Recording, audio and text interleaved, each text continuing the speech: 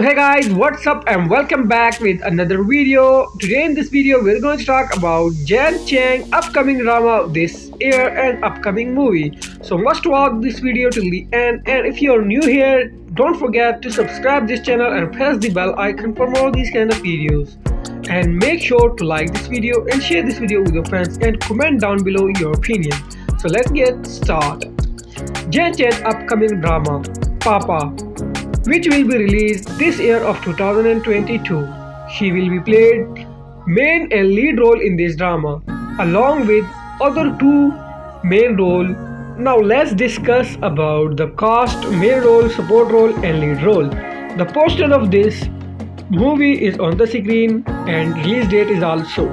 Main role are Huang Bo as Li Dao Yan Ni as Liu Chen Chen, Jan Chang as Gao Ya Lin. She also is the main lead role. Support role are Henry Shaw, Liu Xiaomi as support role, Wang Qian as house sister-in-law, Wang Shu support role, Chang Zixian as house brother. Last main role is Bin Wang support role.